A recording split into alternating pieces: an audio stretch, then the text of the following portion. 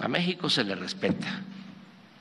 No somos un protectorado de Estados Unidos, ni una colonia de Estados Unidos. México es un país libre, independiente, soberano. Nosotros no recibimos órdenes de nadie. Aquí manda el pueblo de México. Que suscriban principalmente Rusia, China y Estados Unidos, para que eh, logremos, eh, cuando menos, una tregua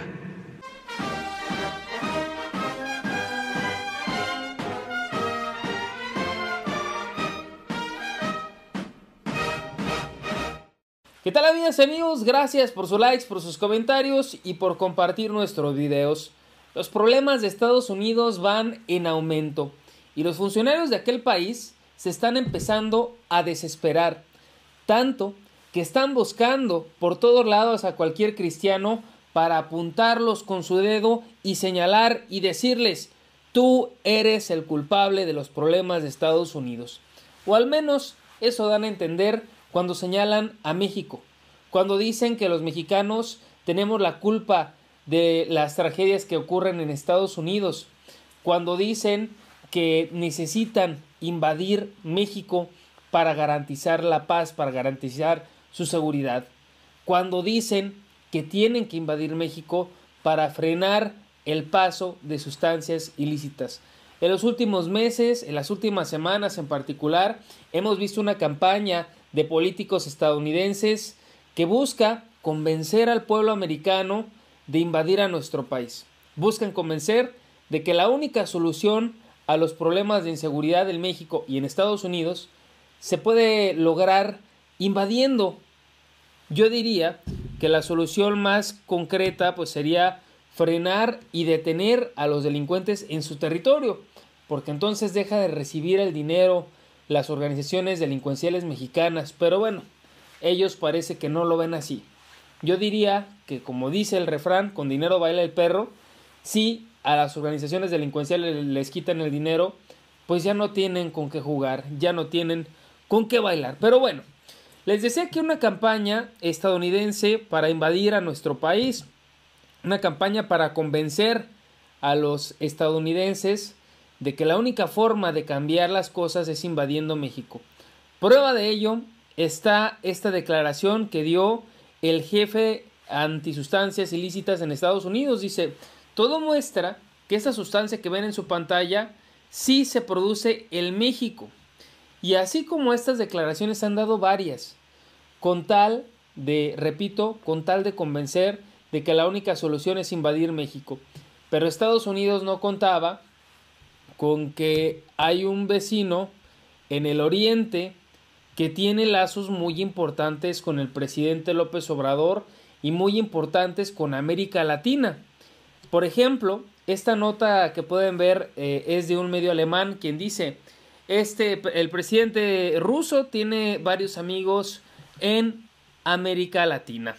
Uno de ellos, por supuesto, es el presidente de Colombia, el presidente de Chile, el presidente de Guatemala, todos ellos han expresado solidaridad eh, con el presidente rusa, ruso, incluso Nicaragua, Cuba, Venezuela.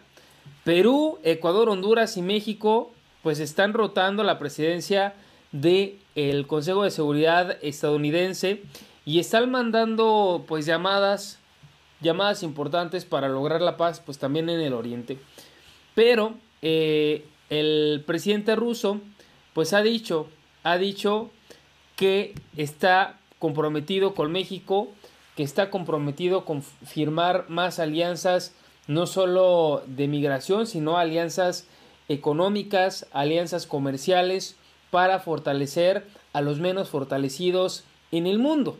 No porque el presidente ruso sea pues una alma de la caridad, no, sino porque durante mucho tiempo, así como a México, a Rusia la han oprimido, a Rusia la han saqueado.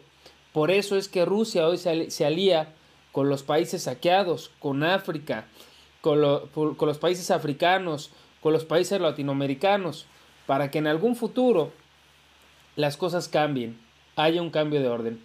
Primero, pues que los que saquearon durante tanto tiempo paguen por sus saqueos, paguen por los años de esclavitud y que haya un giro en el que las potencias emergentes se conviertan en verdaderas potencias y se eliminen estos tratos que durante tantos años nos han dado, en los cuales pues los mejores, los que han salido beneficiados han sido simplemente los más ricos. Prueba de ello está el Wall Street, prueba de ello están los diferentes eh, métodos para participar en el sistema financiero, en el que pues el que es rico se hace más rico y el que es pobre pues no se hace pobre, sino se vuelve miserable, porque la verdad es que en países de África, por ejemplo, en algunos lugares de nuestro país, ser pobre es igual a la miseria.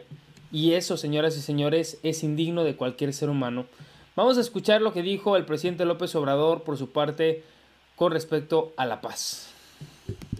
Hay que eh, parar la guerra mediante un acuerdo de pacificación de Rusia y Ucrania y al mismo tiempo llegar a un acuerdo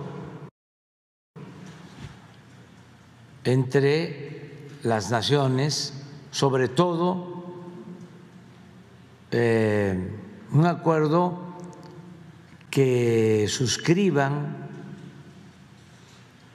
principalmente Rusia, China y Estados Unidos, para que eh, logremos eh, cuando menos una tregua de cinco años, para que todos los gobiernos del mundo nos podamos dedicar a enfrentar la crisis que afecta a miles de millones de seres humanos que eh, están siendo afectados por la guerra, porque pierden la vida, porque son desplazados, porque son afectados por crisis económicas, porque se afecta el suministro de alimentos,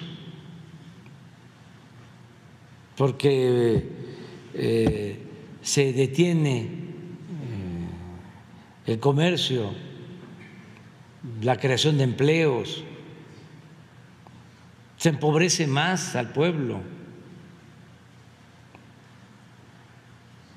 Yo eh, me falta nada más para proponer esto, que ojalá y lo retome Naciones Unidas porque es el organismo encargado, responsable de conseguir la paz y armonizar a todos. Pero siento que le corresponde a Naciones Unidas, que el secretario general de Naciones Unidas debe de participar. Yo propondría a tres Mm, personas con este propósito. ¿Quiénes? El secretario general de Naciones Unidas, al presidente de la India, a Modi, que estamos viendo es mejor aceptado en su pueblo. Y entiendo que lleva buenas relaciones con China y con Rusia y también con Estados Unidos. Y el tercer personaje que propondría sería el Papa Francisco.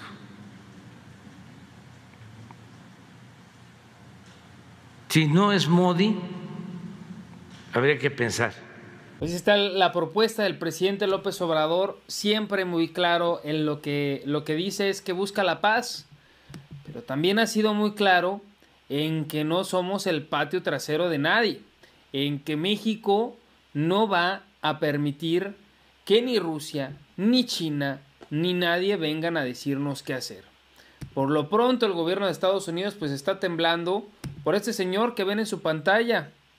Por este señor, estos dos señores que van a ver en su pantalla, el presidente de Rusia, el presidente chino, están los dos muy cercanos a México están muy interesados en frenar esta batalla que hay en contra de la delincuencia, están muy interesados en frenar esta batalla en contra de la corrupción y Estados Unidos, esta cercanía de México con el presidente ruso y con el presidente chino los tiene muy preocupados. Amigas, amigos, me gustaría antes de cerrar este video, pues hacer una pequeña reflexión.